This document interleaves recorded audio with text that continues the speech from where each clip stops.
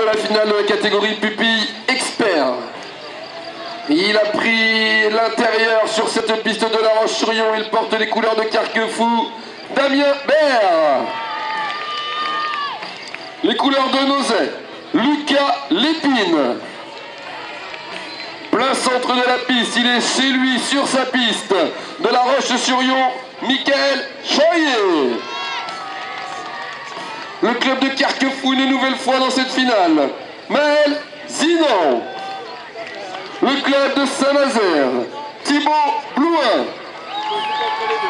Les couleurs de Champagné. Carrie Lombard. Fontenay-le-Comte. Nolan Rouleau.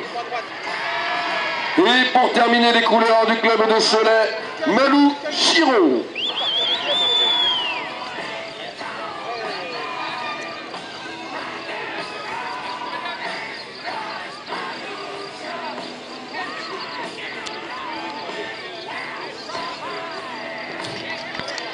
Ah, Allegri qui s'est abaissé pour libérer ses huit candidats, ses huit sportifs.